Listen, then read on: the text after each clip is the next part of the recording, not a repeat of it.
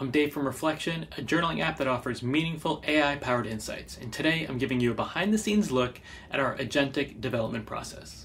Now we have two incredible developers, Isaac and Bryan, but we ship on four platforms iOS, Android, Mac, and web. And we have an ambitious product roadmap, so finding ways to ship fast is critical for us. For a while now, our team has used AI enabled IDEs like Cursor and Copilot, but things really changed about two months ago when we started using agentic coding tools like OpenAI's Codex and Claude Code. Our workflow has been evolving with the tech, but today I want to give you a snapshot of how, with our tiny team, we're able to ship months of features in weeks, using the latest tools alongside our own prompts and our own workflows. I'm going to give you a high level overview and then I'm going to kick it over to our CTO, Bryan, and the architect behind all of this, who will show you step by step how we did it. It starts with a task in our project manager, Asana, either a new feature or a bug. Often this is a few lines or an idea, very rough. Um, could even just be a customer support email and a link to a design file in Figma.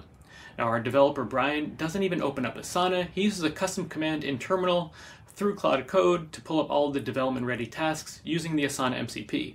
When he selects a task, Claude Code takes it over First, following our multi-step instructions, Claude creates a detailed plan. It studies the task, our existing code base, and any external links like SDKs. Um, it could use the Figma MCP to understand the design requirements, and it's smart. If the design is only in light mode, it knows that we ship everything in light and dark mode, and it follows our established coding patterns. It also identifies and plans for all the necessary code coverage to maintain quality throughout the app. Next, Claude starts coding. Once it's finished, it creates a pull request in GitHub. The pull request automatically triggers another tool we love, CodeRabbit. CodeRabbit reviews the new code and gives line by line feedback directly in GitHub. Now, this is my favorite part. Claude reviews CodeRabbit's feedback and it either implements a suggestion or replies to it in a comment thread. We literally have two AIs debating the best way to code a new feature and a ton of work gets done and documented before a developer even needs to look at it. Now, when our team reviews the pull request, they have the full context of the AI's conversation and all of the changes. Features that used to take months are now consistently shipping in two week cycles, and it's getting faster. And here's the coolest part CodeRabbit learns from valid pushback from Claude, so both AI tools are constantly getting better and more aligned. Now I'm going to kick over to Bryan to show you how this all works under the hood. All right, thanks, Dave. So this terminal is my primary workspace. To start a task, I use a custom command we built using Claude Code's built-in terminal uh, slash commands. Um, so let me show you how we kick off our development work for Reflection app now. So we manage our workflow within on deck column in Asana, where all tasks that are ready to be processed are listed. So I create a custom slash command in Claude Code that connects to Asana, displays all the tasks in the on deck column, and lets me select which one to start next. So this is what Dave was referring to as our guideline engine. Each reflection app code task is initially created by a human and usually with a brief description and sometimes we add links to resources or documentation for Claude to review. And these aren't really detailed specs, they're just enough to get started. So once a task is selected, it's sent to Claude. Our orchestration layer then instructs Claude to do its research. So that's could be anything from searching our code base, performing web research, and reviewing documentation. Claude gathers all this information and it sort of synthesizes it into a more complete and actionable task description for itself, which it uses as the foundation for its own further implementation. So this initial research and planning step is crucial. This is something that we have found and sort of engineered to be the best pr- approach that we found yet.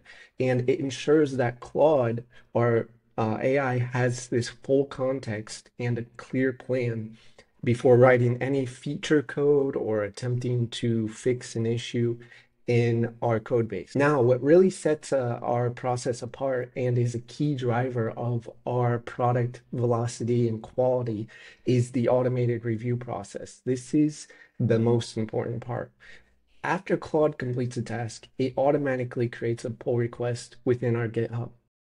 Then it immediately kicks off another uh, AI tool that we use called CodeRabbit, which begins reviewing the pull request. Now, this sets up a unique and highly efficient back and forth between Claude and CodeRabbit within our orchestration pipeline. So sometimes CodeRabbit will raise a valid point about an optimization or some other potential issue.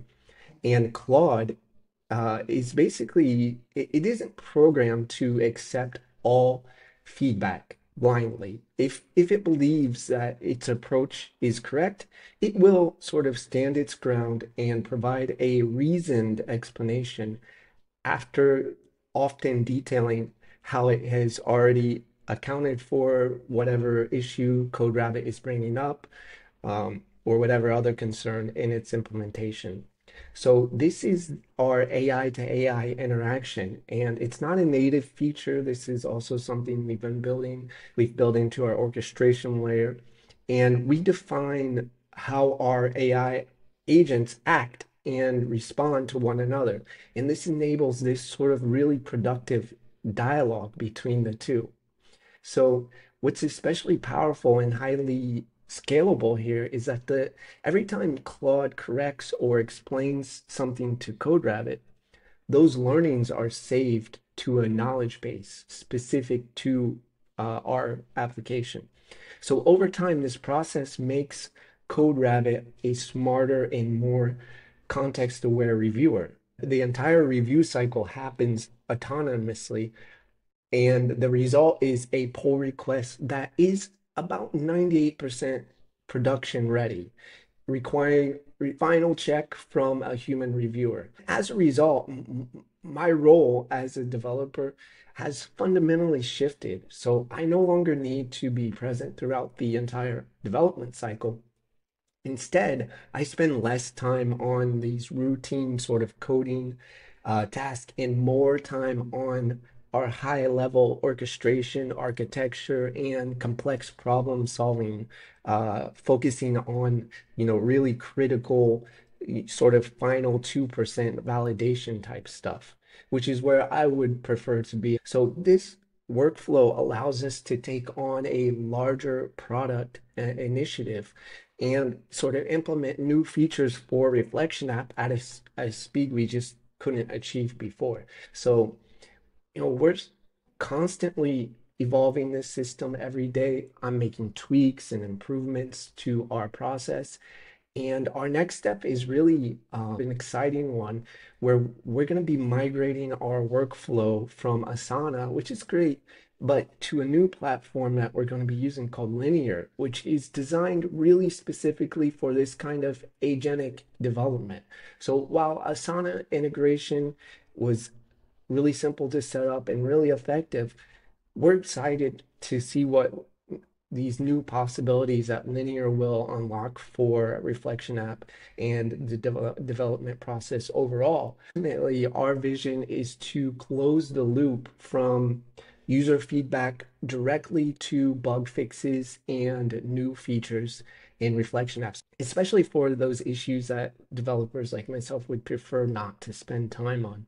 So this approach is core to sort of our, our mission of empowering uh, development team and the development process, but also users and delivering a sort of seamless, really intelligent uh, experience for them. So thanks again for watching. Hope you enjoyed that. Thanks, Bryan. Every time I see this in action, my mind is blown. And the coolest part is our users are noticing. We're getting emails from users blown away by these new features in each sprint, and with each improvement to our workflow, we're able to spend more time focusing on the larger picture, finding better ways to provide meaning and value to the entire reflection experience. As you may have noticed, I love talking about this stuff, so if you have any questions or have an AI DevOps workflow you use, I'd love to hear about it. Thanks for watching, and I hope it was interesting and helpful.